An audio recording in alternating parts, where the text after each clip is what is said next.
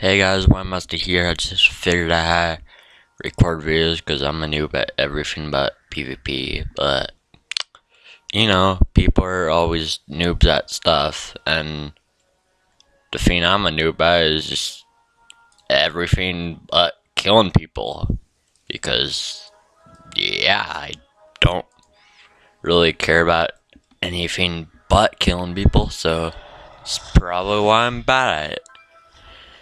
Anyway, I just figured out how to um record my voice with my mic. So now that I've found that out, took my noob self too long to do that. I will be able to um do commentary and guides for you. Okay. See you in my